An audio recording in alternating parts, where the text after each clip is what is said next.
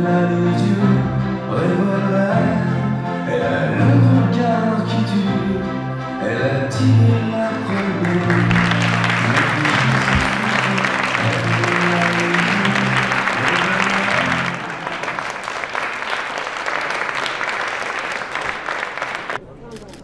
Voilà, par ici. Marc. Voilà, Marc, par ici. Voilà, le regard par ici. C'est troublant parce que c'est le regard des autres sur vous euh, qui vous disent vous êtes prêt à, être euh, avec tous les autres. J'avais de la chance que certains amis étaient déjà installés ici, donc je peux me mettre à côté de, Stéphane ou à côté de, Julien Clerc. Et puis euh, cette idée de fixer quelque chose pour l'éternité, c'est toujours quelque chose un peu troublant. Moi, ça me fait peur. Alors j'ai eu peur et puis maintenant je me suis habitué. Donc on est, on est rentré dans un atelier où le personnage euh, sur lequel on était en train de travailler c'était moi.